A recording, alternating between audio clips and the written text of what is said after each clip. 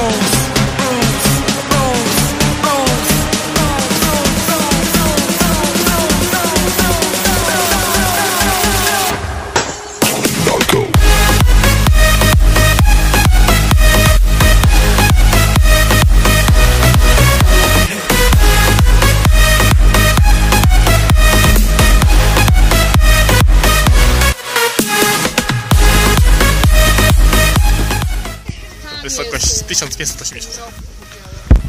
Oto no on świętuje wygraną. Przeszedł same Tatry, jest teraz zwycięzcą.